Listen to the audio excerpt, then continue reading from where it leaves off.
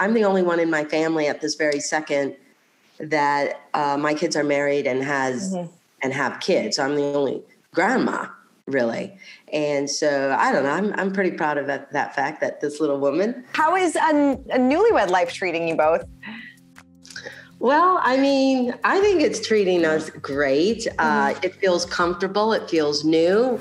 I keep learning about Chris and each other and you know stuff, and we keep adjusting, and you'll say compromising. yeah, I mean, so far, you know, no big surprises or anything that I wasn't prepared for. Uh, so, you know, it's there's obviously still a little bit of a learning curve going on, but we're, uh, you know, we're enjoying life, we're having fun, and I better shake it up a little bit. No.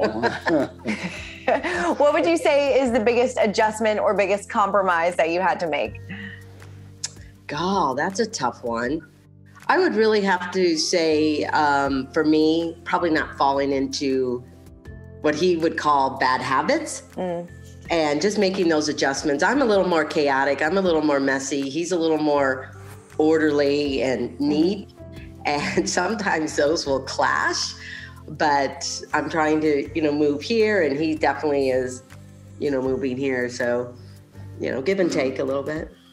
Yeah. Well, I mean, for me, the biggest adjustment is just sharing a space with somebody. I'm so mm-hmm. used to having control over my own space and what it looks like, and and uh, so yeah, that's been a big adjustment to to share that and know that somebody else uh, does things differently than I do. right. That's okay. that is okay. What's the best part about being married? Oh, I think just sharing the small moments together, you know, getting up in the morning, having a cup of coffee. What are you doing during the day? And you know, sharing a meal together. I mean, sometimes it's a lot about the small moments. I mean, we're getting ready for a big motorcycle trip riding up to Alaska. Oh, wow. So that'll be something new in the sense that'll be our longest trip that we've done together. And so, you know. Yeah. And for yeah. me, life is just, um, richer and more interesting mm-hmm. sharing those day-to-day things and and uh, becoming closer with amy's family and mm-hmm. grandkids. And uh, it's just um, really added a, an extra element uh, to my life that i never had before. Yeah. I mean looking back at your wedding is there anything that you wish you could have done differently? Yes. Um, I personally think I, I, wish I would have tried to convince Chris to do pictures ahead of time. Mm-hmm and that would have allowed us more time with everybody. Yeah. Um, it goes by so fast. I don't think I went around to every table just to say, "Hey, thank you." At least, great to mm-hmm. see you. I'm so glad you came to our wedding. I mean, it just goes by so fast. And I think the biggest thing is he did great on his vows. I was like almost crying. Um, cut my vows mm-hmm. tremendously. and from five pages down to one. yeah. Chris, well, how about you? Pages, oh. Well, five pages was because I didn't have glasses on and I had to make sure I was able to see it. Uh. Big print. I love it. Um, you know, this season um, of the show, Matt revealed that he was looking at the security cameras while the wedding was going on. What was your reaction to that? Well, um, you know, what I've learned about Matt is did he say it for camera? Did he really do it? Is it real? Is it true? I mean, whatever. Um, so I thought that was like, okay, I, I realize we're on your property, but Hopefully, you did not do that. I had no problem with it. I mean, we've always known that he's had uh, cameras on the farm. I've always known that. Yeah, yeah, I mean, you know, he's always had them around for good reason. You know, he's he's gone a lot, and it's way of mm-hmm. checking in, and and I had no problem with it. It's not like we did anything inappropriate or anything that we didn't want Matt. But still, see. I wanted I, that to me. I had no problem with it at all. In fact, I thought I was kind of touched that he cared enough that he wanted to, you know, see what was going on. I. Mm-hmm. I thought it was great. And to that point, you know, I've lived on the farm for a number of years, especially after starting the show. We did start installing uh, some cameras, like mm-hmm. to give us a view of, you know, surrounding our house, like in the back property and, and, you know, by the gate. And because a lot of people can enter that farm in, you know, different ways. I mean, we're kind of off the road, but you'd be amazed. People still do it. Mm-hmm. I'm sure. I'm definitely sure. I mean, the four of you seem like pretty close this season. You know, we're going for dinners. Chris, you're doing tours on the farm. I mean, Amy, did you ever think that that would happen?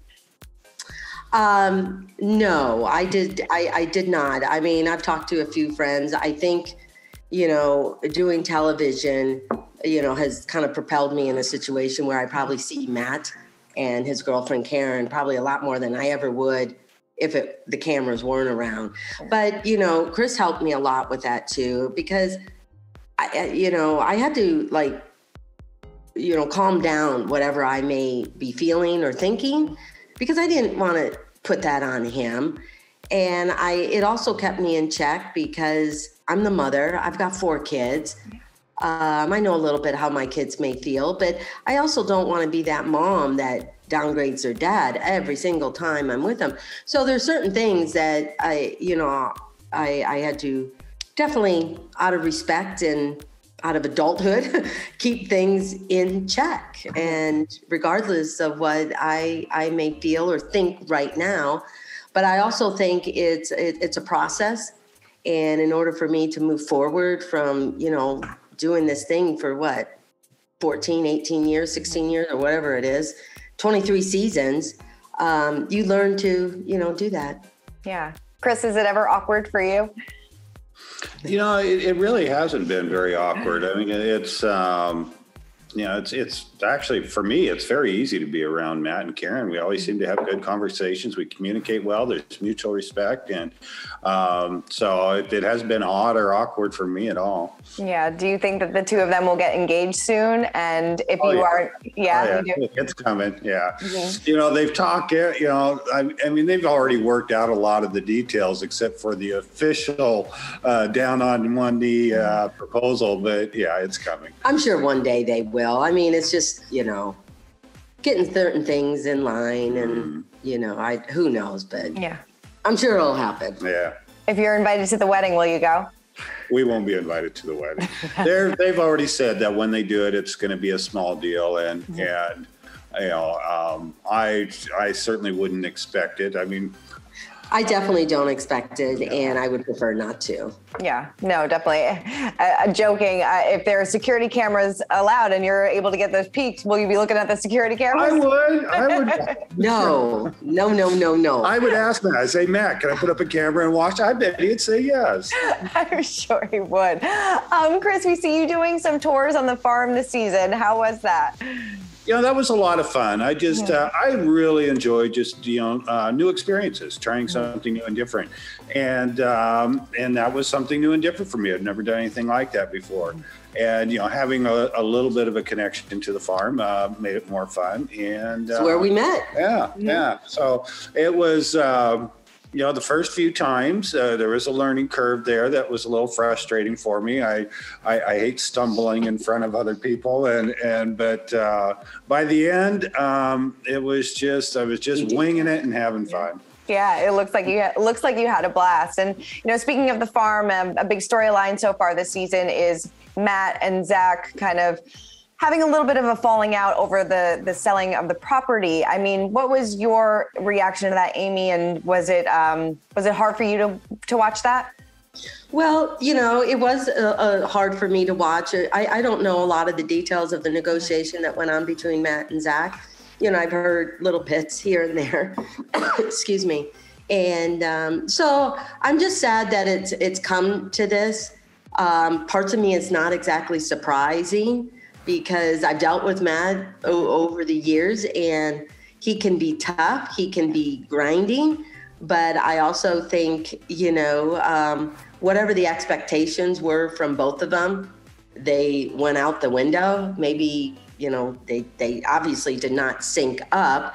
And, but, you know, I, I've said it in the episodes uh, before Matt is still the father. He's still, quote, the adult. I don't care how old your kids are sometimes there are things that they may need to learn, but um, you know, as an adult, you may, as a father, you may have to take the higher road. I don't know. Yeah. What What was your reaction when you found out that Matt is selling part of the farm now?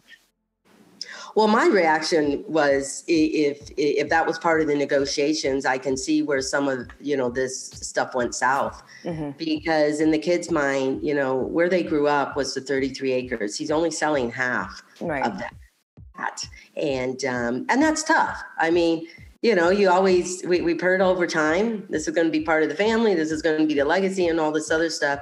And now to see the end result with a for sale sign, I mean, change happens. It, it's it's not always good. It's not always happy, but eventually, maybe this will be a step where we can all move forward and see how we can all come back together. Yeah, definitely. Um, were you disappointed that Zach and Tori decided to move so far away?